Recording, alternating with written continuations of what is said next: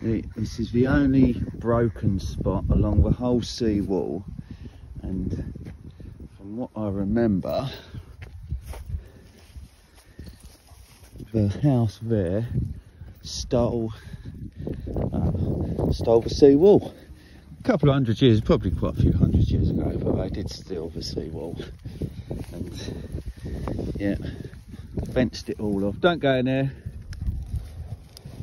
old oyster pits. Don't uh yeah fenced it off and by the time anyone noticed or kicked up the stuff